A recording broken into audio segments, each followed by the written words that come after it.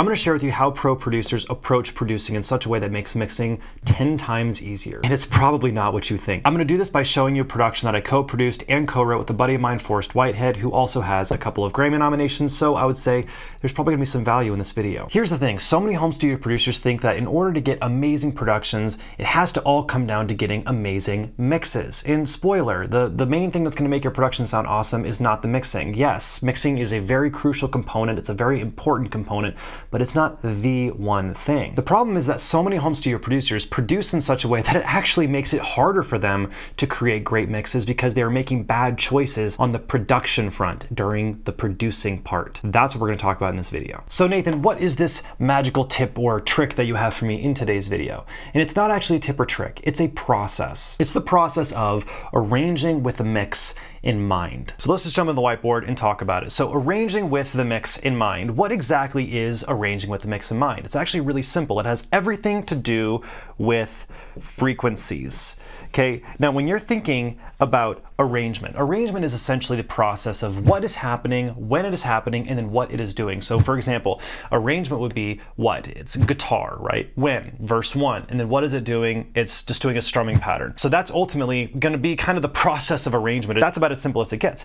Now the problem is, is that so many home studio producers, they take this, which is frequency, and they make mistakes by arranging in such a way where their frequencies are not working together in the arrangement. Now here's the problem. If you arrange a production, okay, so if you have a whole track, a whole production, and the arrangement has problems fundamentally with this, frequency, your mixing job is going to be so difficult. Even a professional mixing engineer is going to take a look at that and be like, dude, this is not going to work. This is going to be very difficult. So what am I talking about? What I'm talking about is the idea of overload, okay?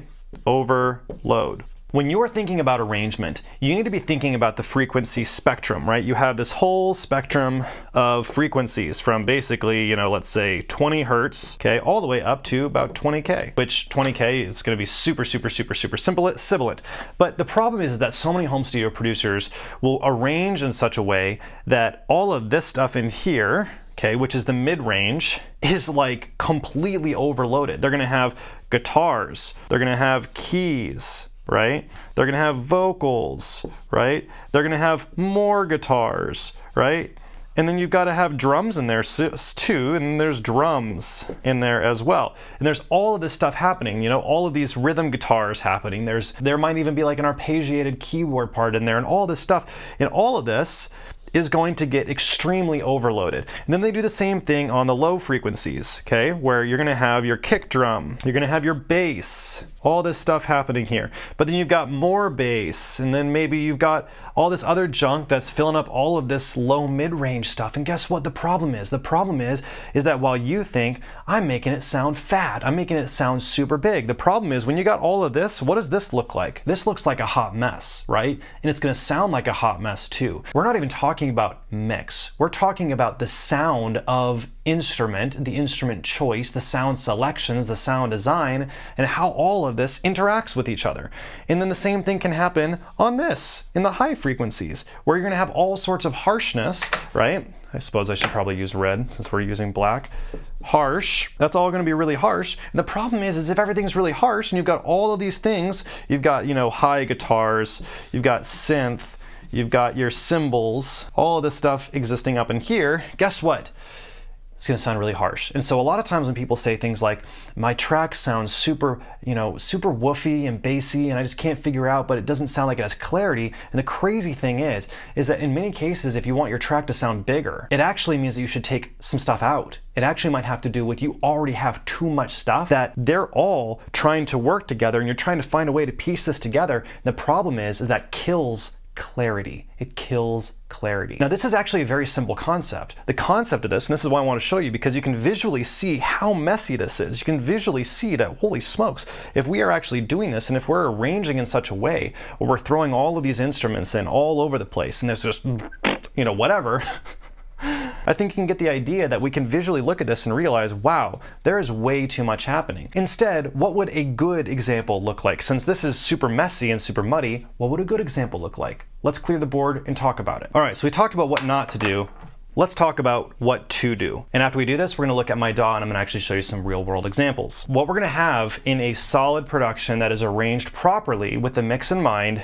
is two things in the low end, okay? So pretty much at about this range here, which we're gonna say is maybe about 100, 80 to 100 is kind of where we're gonna be going. This is the low end, okay? 80 to 100. What do we want to exist in this area? Well, what we want in this area is really two things primarily, kick and bass. Kick and bass. Now, kick and bass are also going to exist in some of the higher frequencies, but the core element, the core essence of what is going to be existing in the bottom end is going to be kick and bass.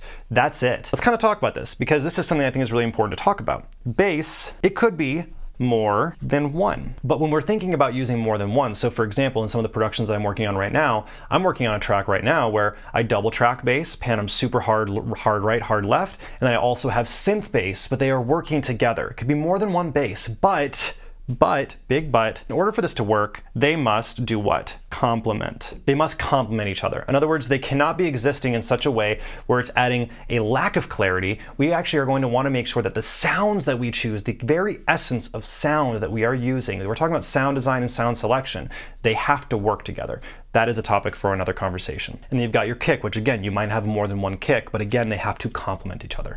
Now, what's gonna happen in the mid range, okay? What's gonna happen in this 200 hertz to kind of up in here, in this, in this area here, in the 2000 range and above? Okay, well, one of the biggest things, and we're gonna kind of do it like this, vocals up here, assuming that we have vocals in the, in the production.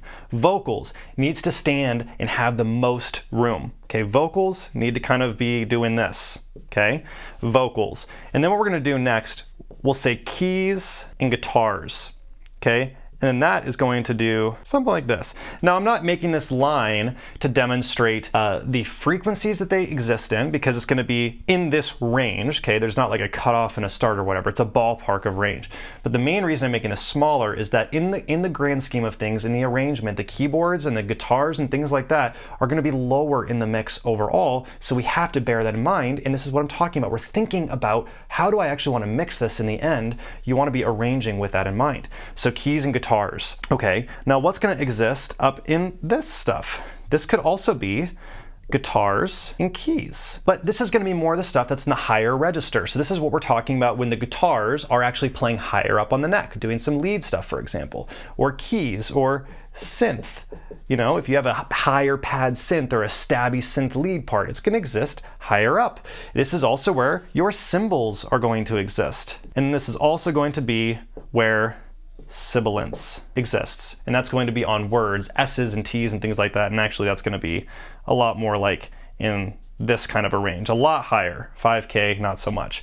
Okay, so now look at this. All of a sudden, we now have a much cleaner looking example of what an arrangement might be. Now, when we're thinking about arranging, we might have lots of layers of things, but you need to be thinking in terms of the broad chunk. So what are my guitars doing? Let's make sure I'm producing guitars. You might have five, six, seven different layers of guitars, but they have to be complementing each other so that they are existing in such a way where when you are arranging, you are thinking about, is this gonna be a nightmare to mix? Frequency wise. And if that is a yes and you are putting too much stuff, you need to dial it back and really come back to this concept. So let's actually take a look at the DAW and see some real world examples. What I'm showing you right now is not the mixed version. I'm showing you the produced version before mix. But what I really want to do is kind of break down what we've already talked about so far.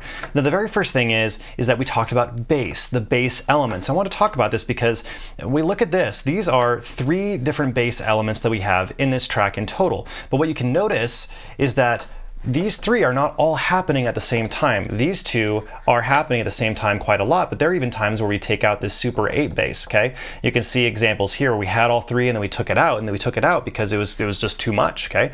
Now, let's go ahead and show you this, uh, this drop right here.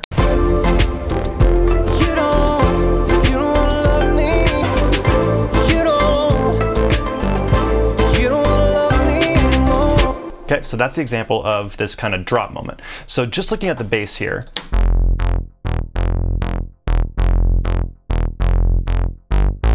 okay, that's what we have. But when I play that, if I didn't show you the fact that this had two separate tracks, we would probably be hearing this as a single sound. And this is the problem is that a lot of times producers will layer their basses, but the problem is they're not finding sounds that actually complement each other. They're basically just throwing in a bunch of basses because they think I need more low end. That's not how you get more low end. The way you get more low end is by having clarity of low end, okay? They complement each other very, very well. That's the only thing happening in the bass as far as like a guitar, synthy bass kind of element. And then what do we have in the drums? Well, let's take a listen. We've got a single kick.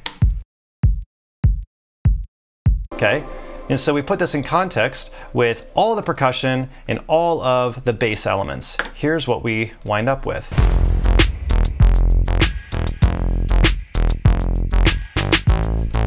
That sounds really great. There's a lot of nice low end there, and there's a lot of clarity happening. So then we move up a little bit. Okay, what happens in the mid range? Well, we've got these strings happening.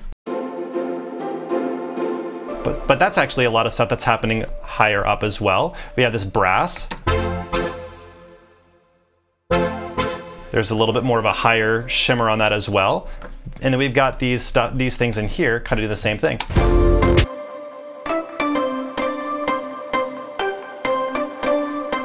But all three of these sounds are doing the exact same thing. So again, the whole goal here is to complement these sounds. And if we listen to them individually, here's one. Okay, here's two. Here's three. So they don't even all sound that great soloed out, but you put them together. That sounds awesome. Okay, what else do we have going on here? Well, we have this piano part going on here, and this is gonna be in some of the mid-range.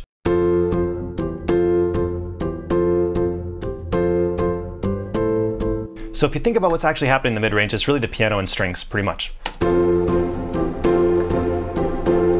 And what are they doing? They're doing the same thing. It's not like we have 15 different things happening all at the same time. It's two things, okay, doing the exact same thing, but they're texturally filling up a little bit of a different kind of a space.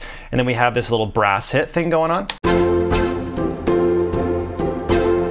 And that's just accenting those hits. It's a little brighter. It's got some space up top. And then we add these uh, melodic elements.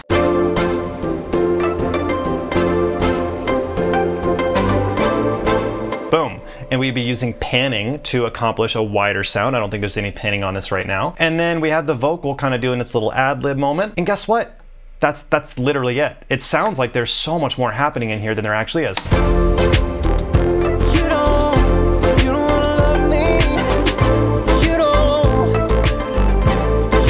Guess what? A part of arranging with a mix of mind is having push and pull, tension and release, where there's the big moment, the small moment, the, the dynamic moment. We start this whole song.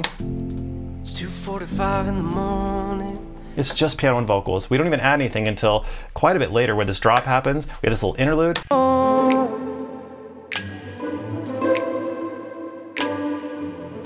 We don't need to throw the whole kitchen sink all at once. And then with verse two. So what am I supposed to say Here's the thing, if you want to go even deeper on this and actually see how I produce a track from start to finish and actually applying everything that we've talked about here, you really need to check out 14 Day Music Producer. We're launching it in two weeks. It's not live yet. You can join our waitlist with the link in the description down below. In two weeks, we're launching. It's going to be on a huge discount for about a week only. But if you're watching this video after we've already launched, you can check it out by clicking the link in the description. We'll see you soon.